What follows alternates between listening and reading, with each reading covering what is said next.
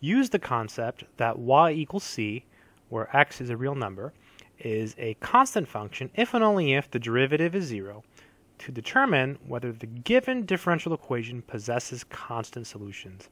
So basically, we have to find out if there are any constant solutions to this differential equation.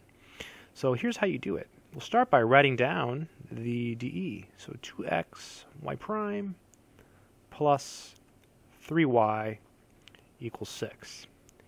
And so y equals c is a solution to this dE if whenever you plug it in, it's true. It makes the equation true.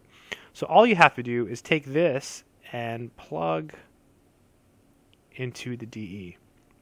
So if y is equal to c, the derivative of c is 0 because the derivative of a constant is 0. That's all it's saying here in the problem.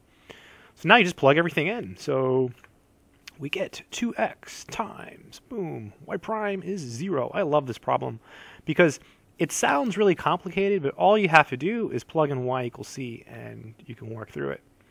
And then 3c, and that's equal to 6.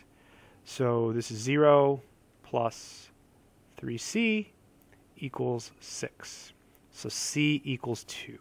So the answer is y equals 2. So y equals 2 is a solution to this differential equation because if you plug in 2, you can do it and you'll see that it's actually true. It, makes the equation uh, correct. I hope this video has been helpful. That's it.